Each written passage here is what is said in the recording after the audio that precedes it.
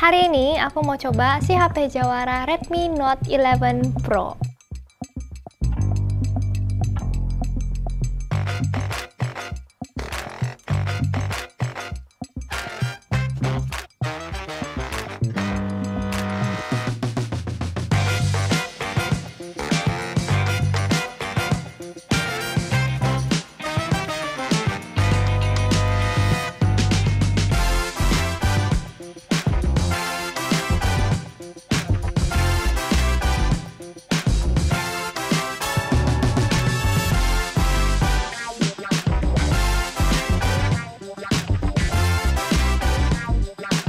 Redmi Note 11 series, jawarannya semua tantangan.